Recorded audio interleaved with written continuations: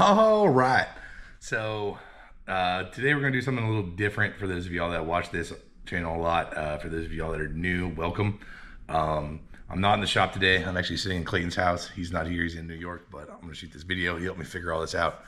Uh, we are going to do a, I guess I'd say getting started or super beginner's guide to clearing an SRS module. So if you um, are doing salvage rebuilds or you wrecked your car and set off the airbags and fixed it yourself, whatever it may be, you may have come across a code that you cannot clear with a typical scanner in the airbag module. Um, today, I'm going to give you the beginner's basics of what you do to clear that code. Um, obviously, you can send it off to places like my airbag or safety restore or a bunch of places online. They'll clear it. Um, today I'm going to show you how you can do it at your house with just a computer and a couple little things that are cheap. So this information is extremely hard to find and it was pretty tough to figure out. Um, just the getting started part. Um, I'm by no means an expert. You can throw whatever questions you have in the comments, but uh, I've done one module now. Uh, about to do the second one in this video, so that's uh, that's that. So I'm by no means an expert but I can at least talk to the chips and write to the chips and do that. And that part alone was very, very difficult to figure out. So let's see what we got. So what you'll start off with is you need to pull the module out of the vehicle. Um, some vehicles can be done through the CAN bus.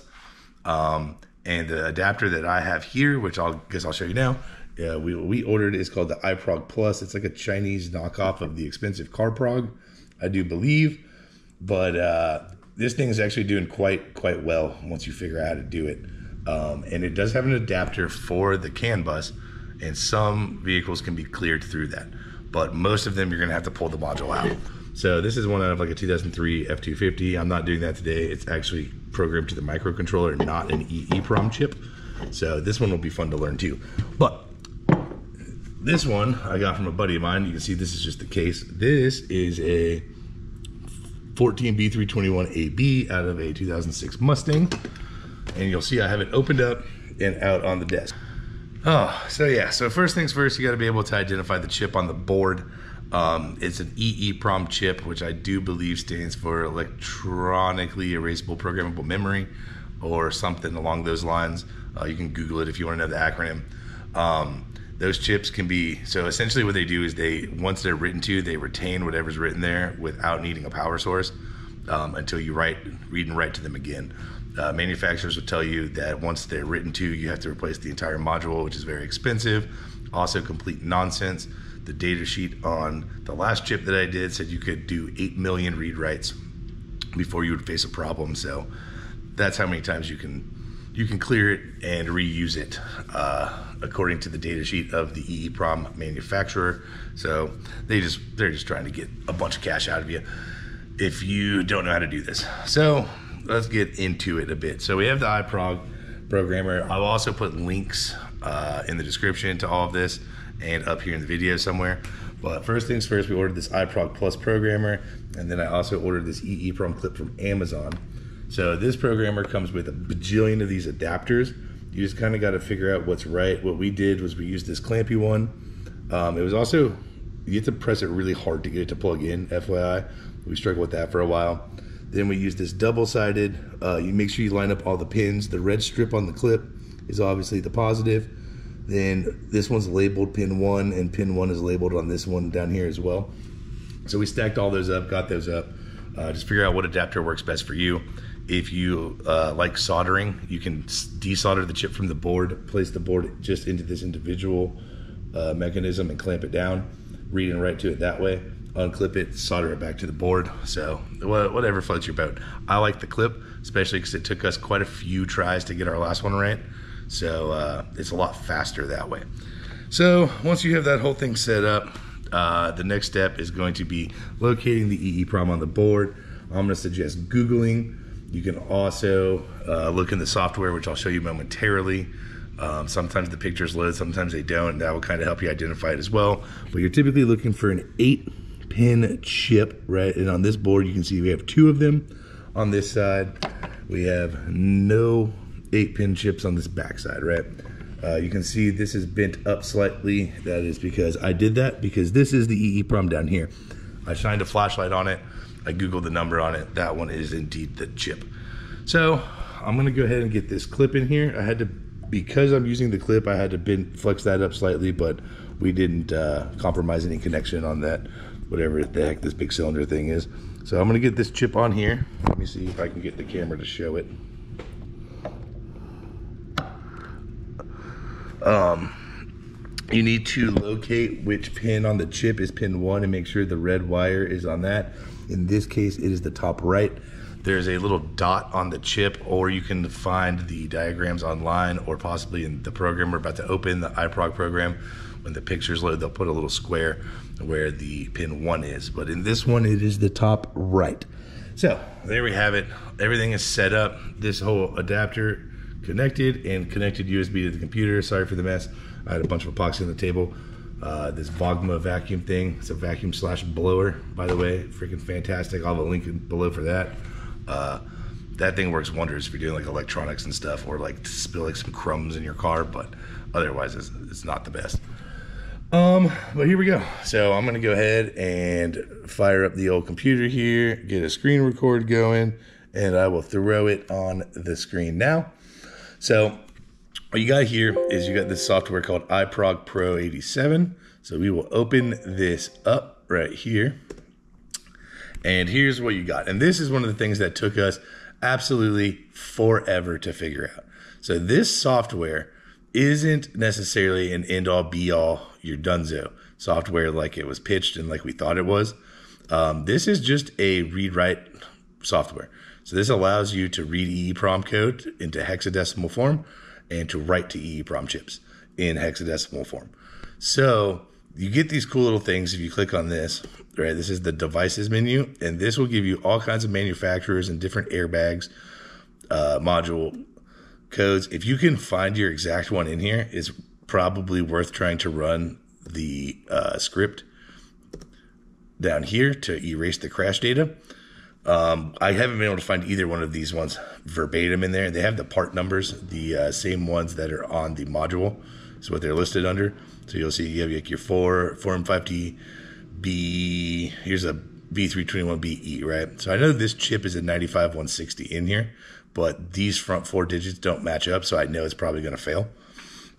But regardless, you can go through here to check it. And like I said, a lot of times these pictures they should load a picture over here that will show the board, the circuit board, and show you where the chip is and where pin one is.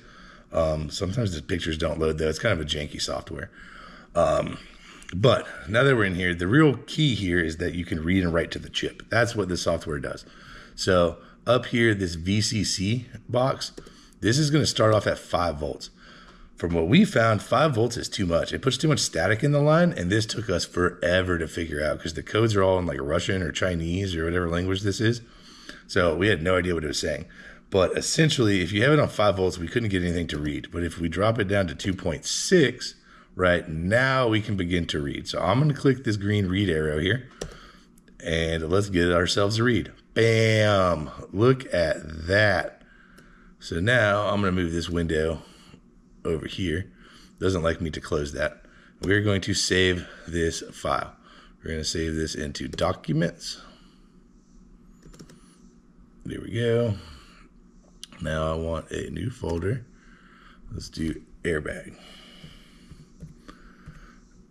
Bag dumps. You can see the 2017 escape stuff I was doing over there.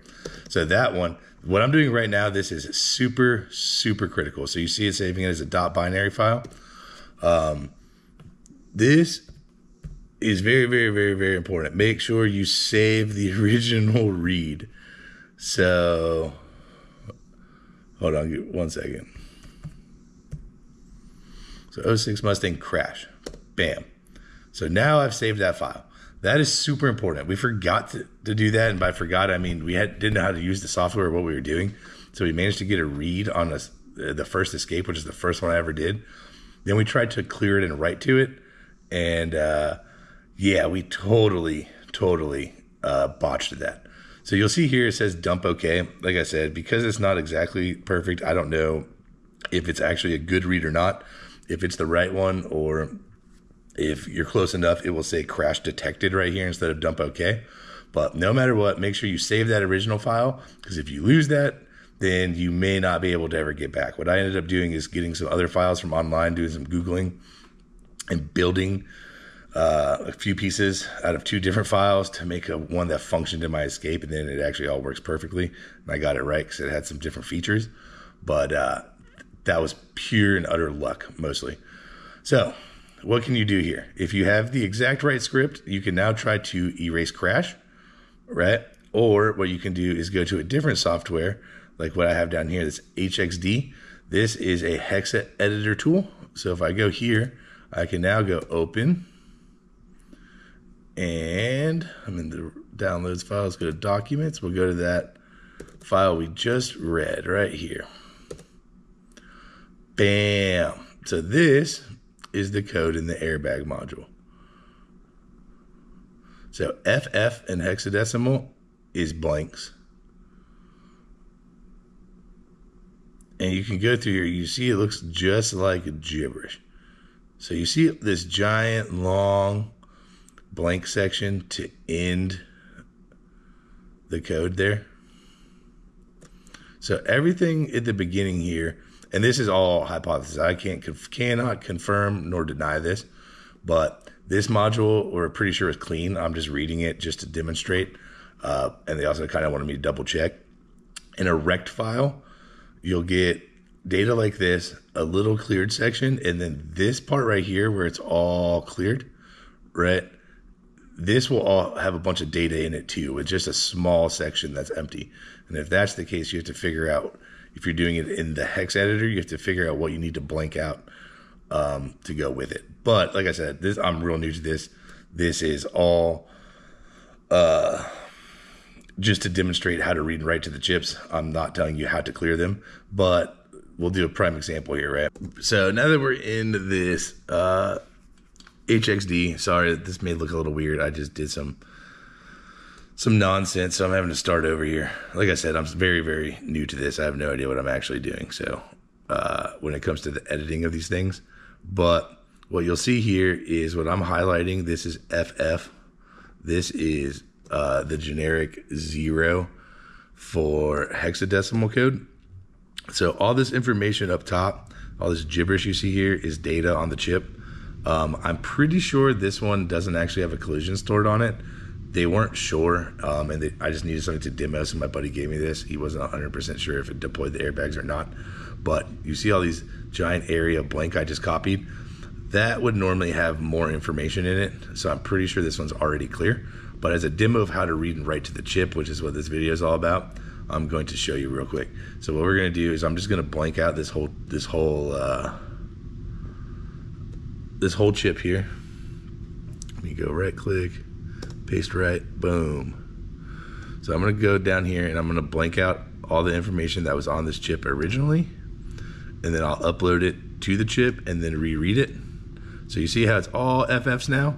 There's no more of that information. So we will file, save as and we will do Mustang crash blank blank demo. Sweet. So now we've made this blank demo. Let's go back over to iProg. So in your case, you'll be trying to clean out your crash data, right? But once you get there and you think you have a file you want to try, you're still hooked up to the chip on the board. None of that's changed. Now you go over to the yellow right, no, I'm sorry, the red right button, um, except let me open our file. I'm sorry. So we'll open this file, which is which one? Oh, this is 17 escape. I'm sorry. You go to documents, airbag dumps, blank demo right here. So let's open this one up. Now we're going to click the write button. So now it's going to load. It takes longer to write than it does to read. But check this out. So once that is finished, bam. Now we'll click the verify button. Boom. So now it verified it. It said, yep, we wrote it good. So we will take a read here's our new read, and now you see that it's changed from OK dump to invalid dump. That is because it's seeing a completely blank chip. So now it's file, save this file as a demo reread. Right. Now we'll go back over to our hex editor here. File, open, demo reread. And you'll see, now that we've opened that one, it is completely blank. So it wrote to it, it blanked out the entire thing. Wham, bam, donezo. Um, the actual clearing of the data, like I said, do some Googling. Uh, maybe your module is listed in that program and it'll work. Just make sure you keep a copy of the original file on hand for sure. But this is the basics of how to set everything up, how to connect to the chip, how to read and write to it, which is really what this program is. And just figuring that part out uh, had a good deal of confusion for me and my buddy Clayton, and he is a network engineer. So the fact that that was hard for him, uh, that tells you how ridiculous it was. But we're gonna go ahead and put back the original. Like I said, it didn't look to me like it had any crash data on it, so we'll put it back in the car once they get it done and verify that. But I'm quite confident in that. Um, you'll see here though, I'm just putting the old file back on. We wrote it. There we go. Now when I read it, it will say dump OK. Boom. We have read, written, we have read and written to this chip successfully multiple times now. And you can do it, like I said, a whole bunch of times. So don't be don't be afraid to mess it up. Um, even if it says so, like on my 2017 escape I did, I messed up some of the code at one point and it said memory corrupted. As long as you can talk to the chip and read and write to the chip, you're all right. You can just keep trying, man it's not that big of a deal. And uh, like I said, information is very, very hard to find. So hopefully this helps somebody out. But that's the gist of the setup. That's how we got it communicating. The big, big deals here were make sure that you drop the voltage over up here in this corner, the VCC voltage to 2.6 while you're talking. And this clip that I have attached to this was a godsend because I was in and out of the vehicle with that escape time and time again. That's mostly because we lost the original read, but uh, needless to say, yeah, like yeah, it took us a lot of attempts. So again, you can maybe find a script, you can maybe find a clean file to just upload online. Um, I'll tell you what I did though, real quick. One last last tidbit. So in the hex editor here on the newer ones, right? Let me go just reopen that crash one real quick, just so it has some sort of information. But on newer vehicles that have VIN numbers coded to the module, you will find the VIN number over here in the decoded text. It'll be clear as day when you're scrolling down through it. Um, actually, let me go grab my escape one because that will make more sense. Hang tight. We're going to open the escape file. So here, so here's a more modern uh, RCM or control module, right? Oop. So we're gonna go down past all this gibberish. And this big area blank right here is what ended up getting fixed. So that all a lot of that had information in it. But you'll see here, this is a VIN number off of the vehicle, and you'll see it three times in a row. So that can be changed by just doing a search and replace here. So search the VIN number on the file you downloaded replace it with your VIN number and do a replace all.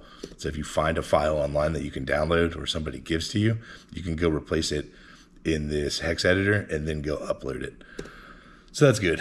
Um, but yeah, hopefully this helps somebody out. Hit that thumbs up button, subscribe if it did. I'm going to make more airbag videos as I learn more um, to try and help folks out because I hate how hard it is to find this information.